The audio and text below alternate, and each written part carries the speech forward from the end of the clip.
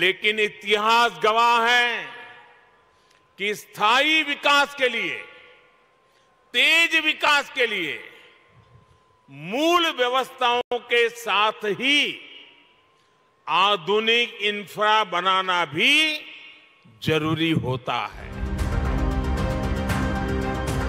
ये है मोदी का नया हिंदुस्तान, जिस हिंदुस्तान में गति है, जिस हिंदुस्तान में गौरव है और जिस हिंदुस्तान के गंभीर संकल्प है। दमदार इंफ्रास्ट्रक्चर है।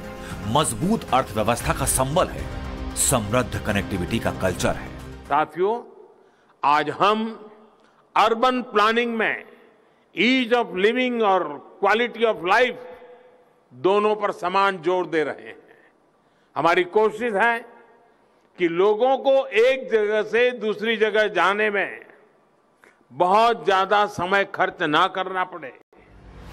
साल 2024 के अंत तक भारत की सड़कों का बुनियादी ढांचा अमेरिका के बराबर हो जाएगा। मोदी के मंत्री नितिन गडकरी का यह बयान बीते नौ सालों में रोड इंफ्रास्ट्रक्चर पर हुए काम को बयान करता है। Delhi Mumbai expressway, Bundelkhand expressway, Purvanchal expressway, Nagpur Mumbai expressway, Bengaluru Mysore expressway देश के सड़क इंफ्रास्ट्रक्चर में आए आमूल चूल बदलाव की बानगी भर है। ये तस्वीरें देखिए। 12 फरवरी को पीएम मोदी ने दिल्ली मुंबई एक्सप्रेसवे के पहले फ़ेज़ का उद्घाटन अपने राजधर्म के उसी संकल्प के साथ किया, जो सबके साथ और सबके विश्वास पर टिका है। तो बात यहीं से आगे बढ़ती है कि क्या 2024 का समर मोदी के इसी कर्म पथ से सधेगा? क्या मोदी का विकास पथ 2024 का एजेंडा बनेगा। सड़कों के मामले में देश और प्रदेश का कायाकल्प हुआ है।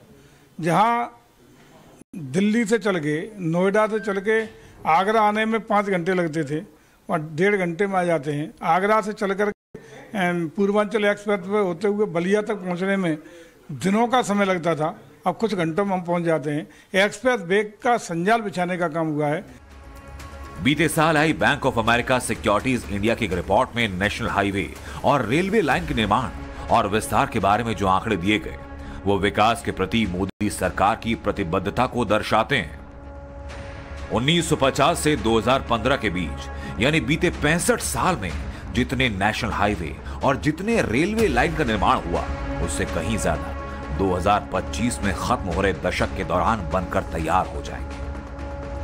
रिपोर्ट में नेशनल हाईवे और रेलवे लाइन के निर्माण से संबंधित जो आंकड़े दिए, उसके मुताबिक देश में साल 1950 तक 4000 किलोमीटर नेशनल हाईवे का निर्माण हुआ, जो 2015 तक बढ़कर सतहत्तर हज़ार किलोमीटर तक पहुँचा और 2025 तक एक लाख अस्सी हज़ार किलोमीटर को पार कर जाने की उम्मीद।